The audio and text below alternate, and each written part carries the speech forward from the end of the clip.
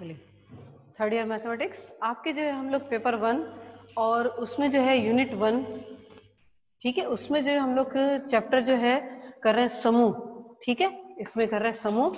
तो यहाँ पे जो है, क्या होगा कि समूह का जो है पार्ट जो है आप जानते हैं कि मैंने पूरा करा दिया था, ठीक है? उसमें जो है मैं आपको जो है मल्टीप्लीकेशन मॉड्यूलो एन ठीक है? वो मैं आपको यहाँ पे करवाऊँगी और इसके बाद जो है आपके चैप्टर जो है वो पूरा हो जाएगा। ठीक है? तो यहाँ पे जो है हमने समशेष मॉड्यूलो एन का योग हमने कर लिया था। आज हम लोग करेंगे सम शेष मॉड्यूलो एन का गुणन। ठीक है? अब ये जो है, क्या बोलते हैं इसको? मल्टीप्लीकेशन मल्टीप्लीकेशन मॉड्यूलो एन क्या बोलते हैं? मल्टीप्लीकेशन मॉड्यूलो एन यदि एन एक धन पूर्णांक है एन यदि धन पूर्णांक है, तथा तथा, किन्हीं दो किन्हीं दो पूर्णांकों ए, बी के लिए, किन्हीं धन पूर्णांकों ए, बी के लिए, ए इंटू बी जो है, हम लोग कैसे लिख सकते हैं? एन क्यू प्लस आर जहाँ पे आर की वैल्यू जो है वो या तो ज़ीरो के बराबर होगी एन से छोटी होगी, यानी कि ज़ीरो और एन के जो है बीच में होगी, लेकिन ज़ीरो के बराबर होगी। तो जो ये आर जो है आर को ए तथा बी का समशेष मॉड्यूलो एन का गुणन कहते हैं। अब देखेंगे कि अगर मैं यहाँ पे इस तरह से लिखती हूँ, ए और यहाँ पे मल्टीप्लिकेशन के लिए जो है N B is equal to क्या हो जाएगा? आर ठीक है? लेकिन कुछ जो है कंडीशन के हिसाब से देखेंगे कि अगर ए बी का गुणा जो है, अगर एन से छोटा है, अगर ए बी का गुणा जो है एन से छोटा है तो ये ए इंटू बी होगा। ठीक है? ये ए इंटू बी होगा। जब जो है ये ए बी का मान जो है वो क्या होना चाहिए? एन से छोटा हो।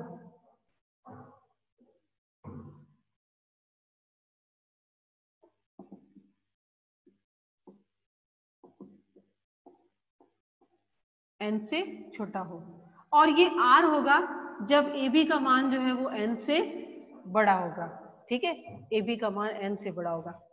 तो यहाँ पे जो है और कुछ न करते हुए मैं सीधा यहाँ पे जो है एक ग्रुप ले रही हूँ और ये जो है मल्टीप्लीकेशन मॉड्यूलो एन जो है वह ले रही हूँ और उसके ऊपर से जो है मैं बताऊँगी आपको कि ये जो है डेफिनेशन जो है वो किस तरह से यहाँ पे यूज़ होती है।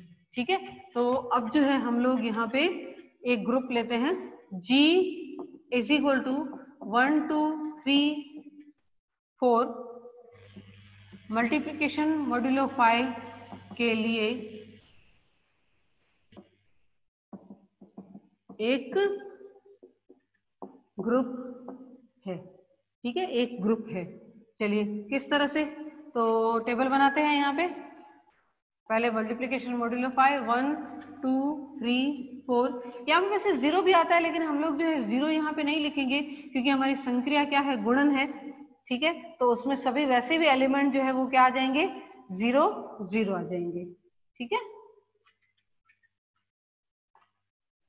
तो एक का गुणा एक के साथ करते हैं तो एक ही आता है। एक का गुणा दो के साथ दो, तीन के साथ करेंगे तीन और चार।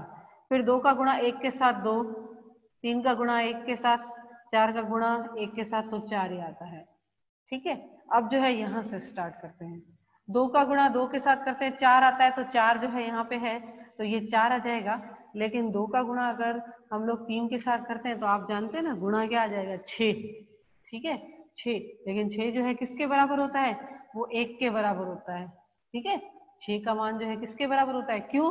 क्योंकि मोड्यूलो फाइव अब ये मोड्यूलो फाइव का मतलब क्या है? यानी कि पाँच जो है, वो छ माइनस एक को जो है, पूरी तरह से, अच्छी तरह से जो है वो डिवाइड कर सकता है। तो फाइव जो है डिवाइड्स इसको कैसे पढ़ते हैं? Five divide six minus one. तो हम लोग जो है, वो क्या लिखेंगे? छ नहीं लिखेंगे, क्या लिखेंगे? एक लिखेंगे यहाँ पे। ठीक है? अब दो का गुणा जो है हम लोग चार के साथ करते हैं तो आप जानते हैं कि आठ आता है। और आठ जो है किसके बराबर होगा? आठ जो है वो तीन के बराबर होगा। क्यों? क्योंकि जो है, हम लोग जानते हैं कि फाइव जो है, वो आठ माइनस तीन को पूरी तरह से डिवाइड करता है, क्योंकि आठ माइनस तीन कितने होते हैं? पाँच। ठीक है? तो यहाँ पे जो है, ये क्या होगा? थ्री ठीक है? फिर जो है, तीन गुणा दो, फिर से आ गया छ यानी क्या आ जाएगा? एक. ठीक है? फिर तीन गुणा तीन करते हैं हम लोग तो नौ. ठीक है? नौ जो है, वो किसके बराबर होगा? यहाँ पे जो है, आप जानते हैं कि नौ जो है, वो चार के बराबर होगा.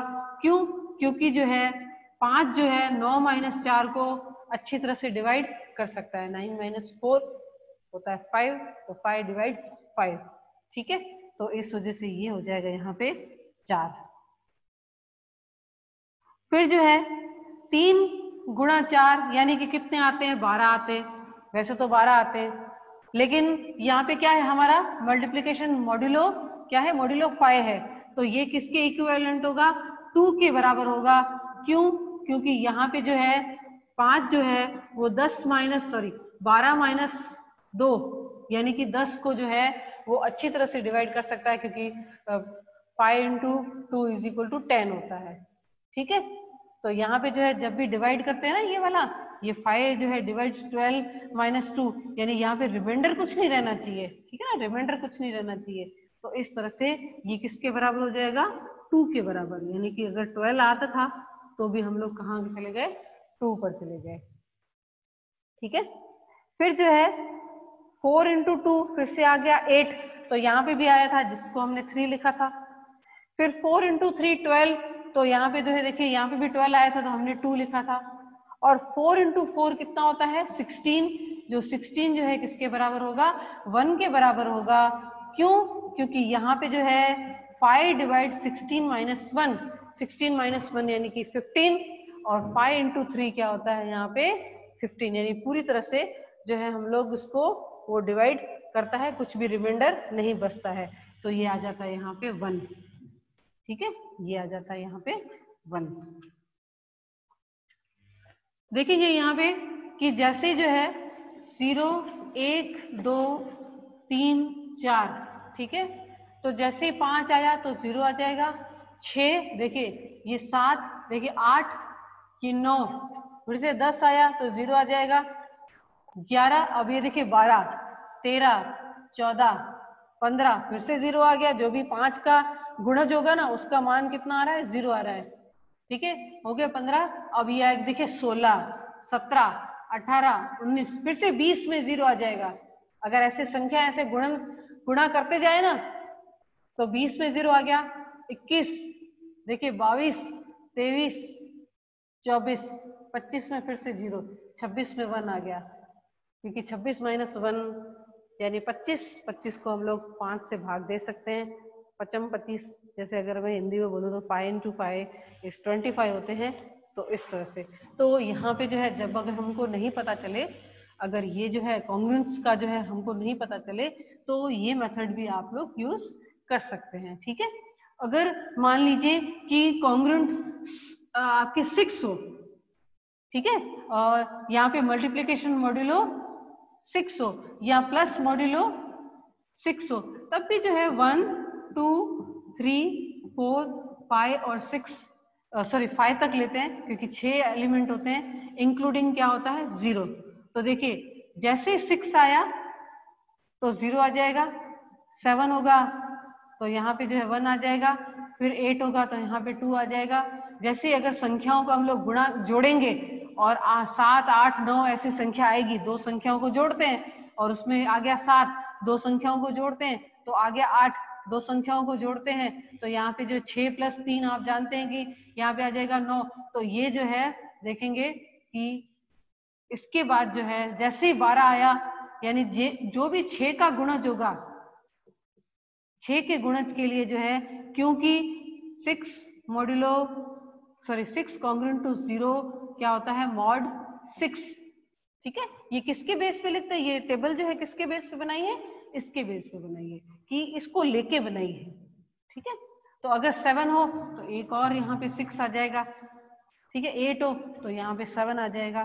तो ये जो है, अगर नहीं पता चले कि अभी ये यहाँ समझ में नहीं आ रहा है कि A congruent to B mod H का मामला तो पता ही नहीं चल रहा है। मॉड एन का मामला पता नहीं चल रहा है। तो यहाँ से आप पता लग जैसे पाँच आए तो वो ज़ीरो के बराबर होता है छह एक के बराबर होता है, सात दो के बराबर होगा, आठ तीन के बराबर होता है। ठीक है? नौ देखिए, नौ आए थे, वो चार के बराबर था। दस, ग्यारह, बारह आए थे तो वो दो के बराबर था। फिर जो है, आपके सोलह आए थे तो सोलह जो है, वो एक के बराबर था। ठीक है? तो सबसे पहले जो हमारा मल्टीप्लीकेशन मॉड्यूल ऑफ़ फाइव जो है, एक द्विआधारी संक्रिया है। एक द्विआधारी संक्रिया है, ठीक है? ये द्विआधारी संक्रिया है। और क्यों? क्योंकि यहाँ पे जो भी हम लोग ये मल्टीप्लीकेशन मॉड्यूल ऑफ़ फाइव अगर दो अवयवों के बीच में लगा रहे हैं तो सारे मुझे ये ग्रुप जी के ही अवयव जो है प्राप्त हो रहे हैं। इससे बाहर मैं नहीं जा रही हूँ। ठीक है? तो यानी ये संक्रिया कौन सी एक द्विआधारी संक्रिया है। और सारे जो सारे क्या है? नंबर है, पूर्णांक है। तो साचरता के गुणधर्म का तो पालन करेंगे ही करेंगे। लेकिन दूसरी एक चीज़ यहाँ पे लिखनी है कि देखना है कि तत्समक क्या है। तो क्लियर है। तो एक जो नंबर है, एक क्या है यहाँ पे? तत्समक अवयव है। आपको पता है, अगर ऐसे प्रश्न आते हैं ना तो इनको शब्दों में ही लिखना पड़ता है। यहाँ पे सिर्फ़ आप टेबल बना लो ठीक है? टेबल बनाने के बाद उनको जो है शब्दों में लिख दो। अब यहाँ पे बारी आती है आपके प्रतिलोम की। तो अगर वन का प्रतिलोम तो वन, ठीक है? दो का प्रतिलोम कितना है? तीन। ठीक है? यहाँ पे जो है, यहाँ से देखते हैं। दो का प्रतिलोम कितना है? तीन। और तीन का प्रतिलोम कितना है? एक। ठीक है? और चार का प्रतिलोम कितना है? चार। तो हम लोग ऐसे लिखेंगे कि अब एक, दो, तीन, चार के प्रतिलोम कौन से होंगे? एक, तीन, दो, चार है। और वो भी है वो भी कौन से अवयव है? इस ग्रुप जी के ही अवयव है सारे के सारे। ठीक है? यानी कि ये जो है क्या है? एक ग्रुप है। ठीक है? ये एक ग्रुप है। चलिए आबेली के बारे में देखते हैं। दो एलिमेंट ले लेते टू और थ्री ले लेते हैं। तो two multiplication modulo five three ठीक है?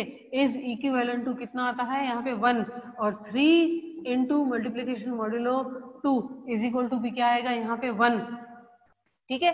क्यों? क्योंकि वैसे सिक्स आता है और six is congruent to one modulo five ठीक है? ऐसे बोलेंगे। Six is congruent to one modulo five ठीक है? ये मैं आपको बता रही हूँ सारा। आपको नॉलेज देने के लिए बता रही हूँ, क्योंकि आपको आगे जो है परेशानी नहीं होनी चाहिए। ठीक है? वैसे जो अभी मैं क्वेश्चन करूँगी तो ऐसे क्वेश्चन जो है आपको जो है पूछे जा सकते हैं। ठीक है? तो आप देखेंगे कि ये क्या है? क्रम विनिमय भी है, यानी कि क्या है? आबेली भी है। क्या है?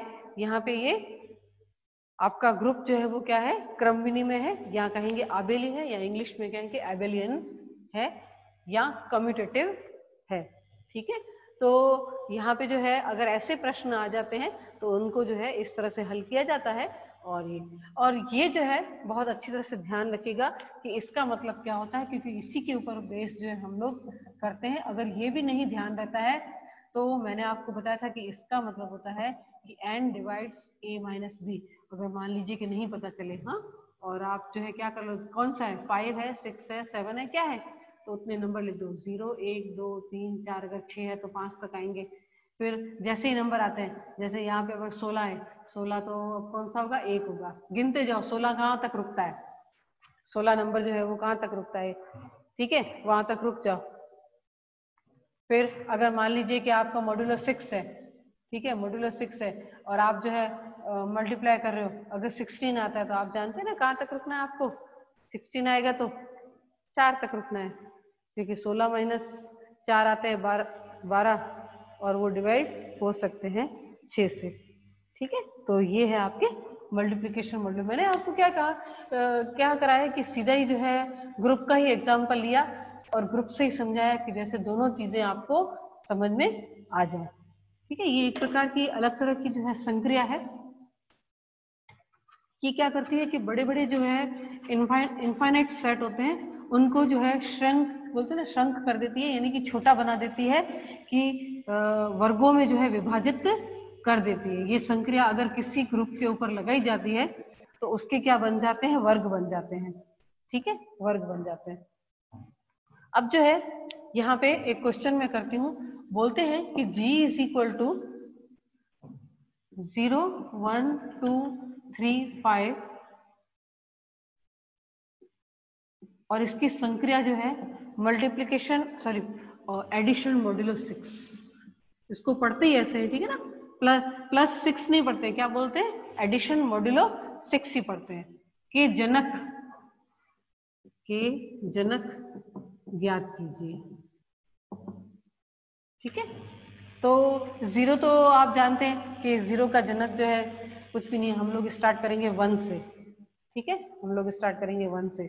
तो वन का जो है घात एक तो एक ही। ठीक है? वन की घात दो, यानी कि one plus modulo addition modulo six आ जाता है टू। चलिए, काम बन रहा है। यहाँ पे जो है वन, ये आ जाता है थ्री। चलिए, कोई प्रॉब्लम नहीं है। थ्री आ रहा है। लेकिन जनक जो है ज्ञात करना है, ठीक है ना? इसका मतलब क्या है? जनक ज्ञात करने का मतलब क्या है यहाँ पे? कि ऐसा अवयव ज्ञात करना है जिससे सारे जो है अवयव जनित होते हो। तो ये आ गया एक, दो, तीन, चार। चलिए, चार आ रहा है। लेकिन पाँच तो ये यहाँ पे तो आ रहा है पाँच। ठीक है? और वन की पावर सिक्स। मैंने कहा था ना, ये पावर लगाने का मतलब क्या है? उतनी बार संक्रिया करा रहे हैं। ठीक है ना? वो घात नहीं है, वो जो अर्थमेटिक वाली घात नहीं है, ये वो क्या है कि उसमें जो है हम लोग संक्रिया करा रहे हैं। तो ये आ जाएगा। तीन बार लिख दिया। एक, दो, तीन, चार, पाँच। हाँ। ये छह बार। लेकिन जो है ये किसके बराबर होता है? ये जो है, छह जो है, किसके बराबर होता है? ज़ीरो के बराबर होता है। ठीक है ना? देखिए, पाँच और छह पर कहाँ पे आ गए? ज़ीरो पे आ रहे तो सारे अभी आ गए? ज़ीरो आ गया। एक, दो, तीन, चार, पाँच भी आ गए। यानी कि ये क्या है? जो इसका वन क्या है? इसका जनक है। एक जो है, वो जी का जनक है। ठीक है? जी का जनक है। और उसका जो है, अब जी का जनक भी है और इसका ऑर्डर भी अगर लिखना चाहे तो ऑर्डर कितना है यहाँ पे? सिक्स इसका ऑर्डर कितना हो जाएगा यहाँ पे? सिक्स ठीक है? और इसी प्रकार से जो है, हम लोग two three two three four five sorry four five two three four five जो है, इनके ऑर्डर भी ज्ञात कर सकते हैं। ठीक है? चलिए मैं यहाँ पे जो जनक तो बता दिया, इसका एक जनक है। और इसका जो है ऑर्डर कितना है? यहाँ पे सिक्स है। लेकिन टू के बारे में अगर विचार करें यहाँ पे, जो आपका अवयव टू है तो दो की घात एक तो दो ही आ रहा है। दो की घात दो, यानी कि इसको जो है दो बार, दो को दो से अगर संक्रिया कराते हैं तो चार आता है। चलो ठीक है। लेकिन तीन बार अगर संक्रिया कराते हैं तो यहाँ पे जो है सिक्स आता है, लेकिन वो किसके बराबर होगा? ज़ीरो के बराबर होगा।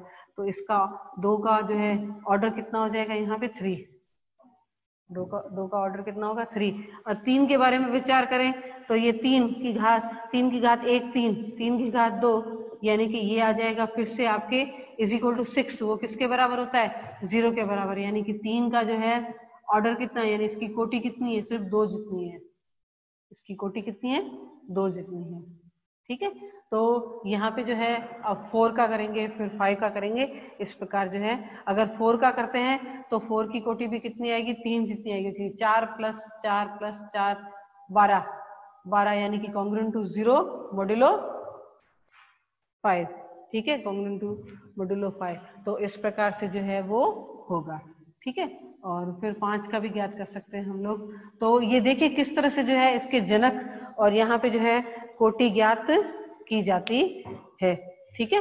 कोटि ज्ञात की। अब इसके बाद आप जानते हैं इसका ऑर्डर ये आ गया तो डेफिनेटली वो जो है आपके जो है यहाँ पे टू जो है, इसका जनक नहीं होगा थ्री भी इसका जनक नहीं होगा यहाँ पे। ठीक है ना? तो फोर भी जो है इसका जनक। देखो, आप कोशिश करना, देखना कि सारे अवयव आते हैं कि नहीं। ठीक है? फोर और फाइव के लिए जो है आप खुद जो है वो कोशिश कर सकते हो। ठीक है? तो ये इस प्रकार के जो है क्वेश्चन कुछ आपकी किताब में भी दिए हुए हैं, जो आप खुद जो है कर सकते हो।